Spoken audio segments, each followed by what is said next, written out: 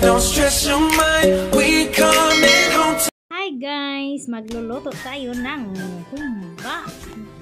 Yan guys, may batok ako dito guys. Ilagay natin sa kawali. Ah, pakupsa natin siya guys. Yung ah, itanggalan natin siya ng mantika ba. Yung maluto siya sa, maprito siya sa sarili niyang mantika. Yan guys. Maglalabas yan siya ng tubig. Tapos lalabas yung mantika niyan guys. Yan na guys. Wala na siyang tubig. Antayin natin lumabas yung mantika niya guys. Luto natin siya sa sarili niyang mantika. Halo-haloin natin siya guys para pantay yung ano niya. Pantay yung pagkaluto niya no. Haluin natin siya guys. Maya-maya kasi uh, dumidikit kasi yan sa kawali no? Para hindi masunog yung uh, baboy natin, kailangan natin siyang halo-haloin. Ayan na guys, lumabas na yung mantika niya, parang naprito na rin siya. Ayan, itabi muna natin siya guys, at saka bawasan natin yung uh, mantika niya kasi ano no, sobrang dami, marami din yang cholesterol.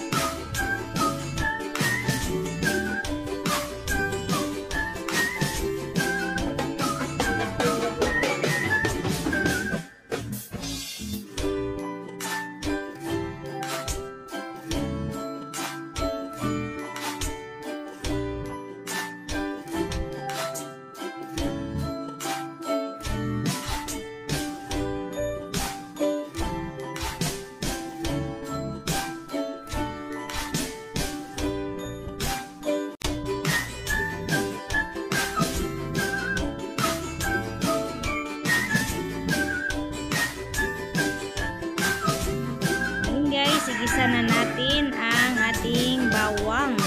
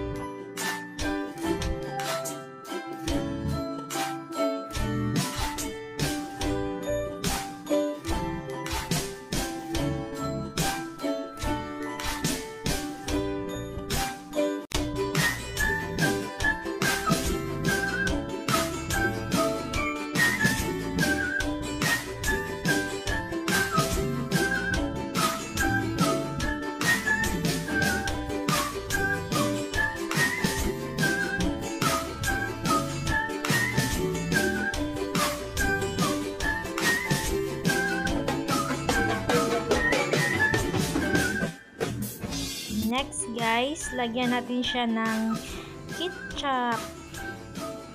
Para pumula yung ano niya, pumula yung kulay ng ating humba.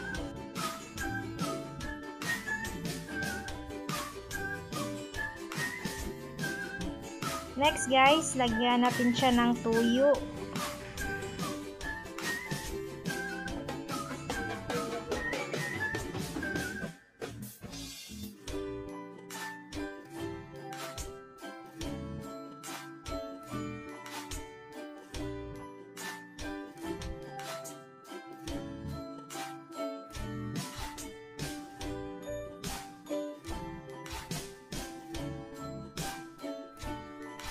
Next, lagyan natin siya ng suka.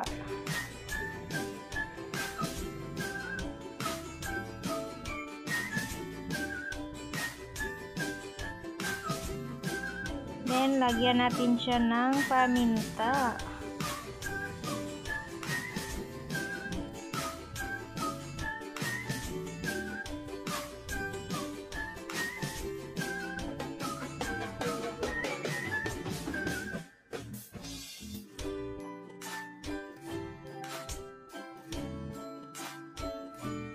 Tapos, ilagay na natin ang ating uh, black beans.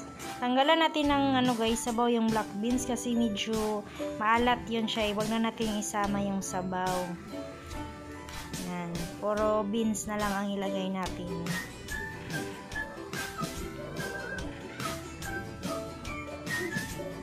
Tapos, ang ating, lagay din natin ang ating bulaklak ng saging.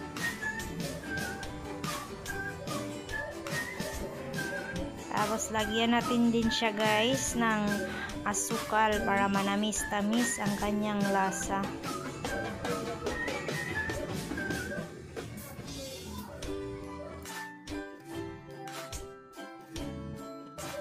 Lagay natin siya ng asukal brown sugar.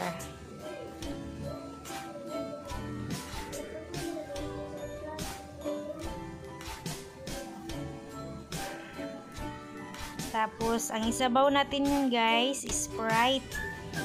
Yan.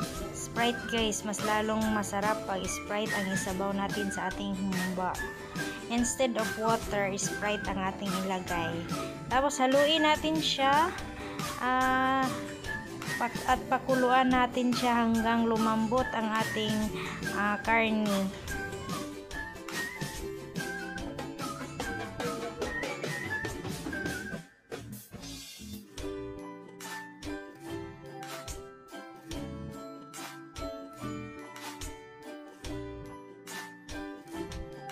Guys, kumulo na siya guys.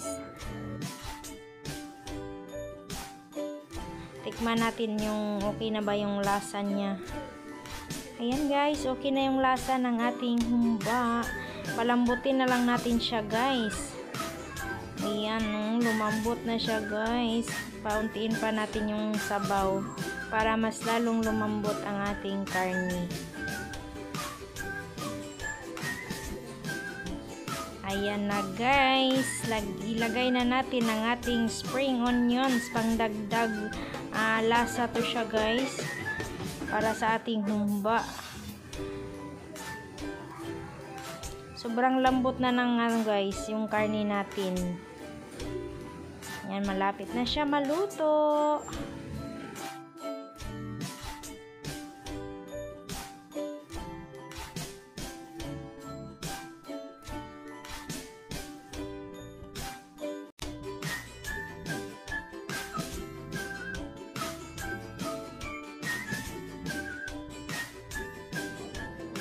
Ayan na guys, luto na ang ating humba.